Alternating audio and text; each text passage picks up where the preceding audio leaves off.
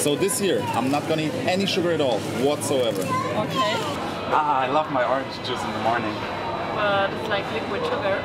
Oh, okay, I'll put it back in. Mm, should we get a nice bottle of wine for dinner?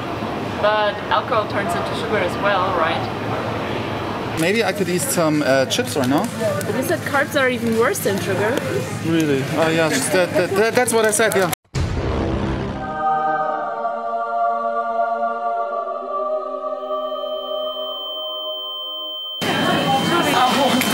so. Und, und, und,